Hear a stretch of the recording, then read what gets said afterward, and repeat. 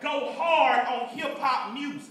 Kids in New York have forgotten the rich and wonderful legacy that people only 10 years older than you created.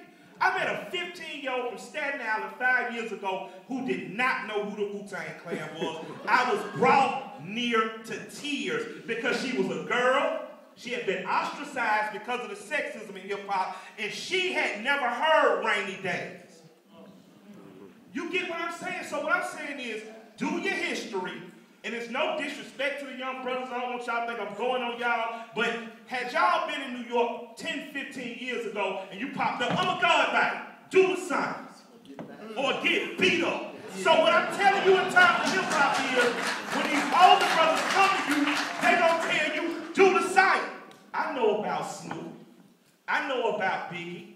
But do you know about Scarface? Do you know about Spice One? Do you know about Melle Mel? Do you know about the people who inspired the people you look up to?